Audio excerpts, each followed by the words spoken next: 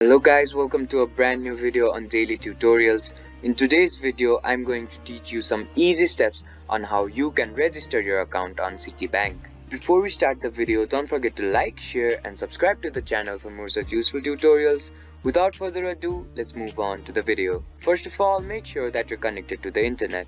Once you've made sure that you're connected to the internet, open up a web browser.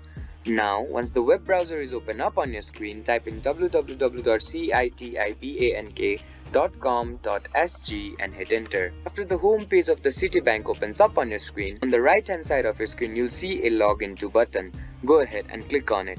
Once you click on the login to button, a menu will pop up on your screen.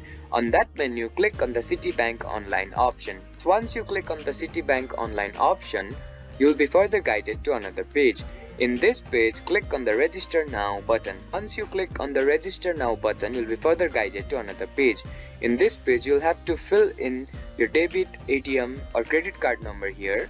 You'll have to tick on this option and then click on Continue. Once you click on the Continue button and if you have filled in this credential correctly, you'll be guided to another page which will help you to register to the Citibank Singapore. I hope this video helped you to register to the Citibank. Don't forget to like, share and subscribe to the channel for more such useful tutorials.